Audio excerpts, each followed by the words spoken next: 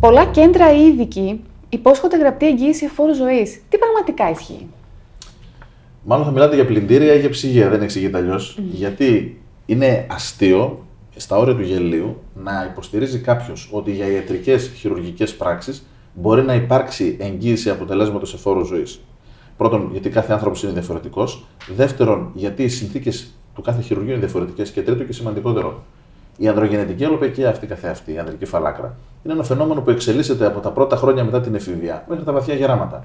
Πώς λοιπόν μπορούμε να εγγυηθούμε σταθερότητα του αποτελέσματος σε έναν άνθρωπο ο οποίος έχει ένα εξελισσόμενο πρόβλημα επί δεκαετίες; Ακόμη όμως και στην περίπτωση των μεταμοσχευμένων τριχοθυλακίων, που μπορούμε με μεγάλη βεβαιότητα να πούμε ότι ένα ποσοστό άνω του 90% θα επιβιώσει.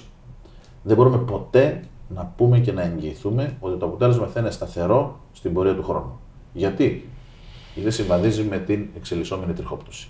Πρόκειται λοιπόν για ένα ξεκάθαρα marketing trick και μάλιστα φτηνό.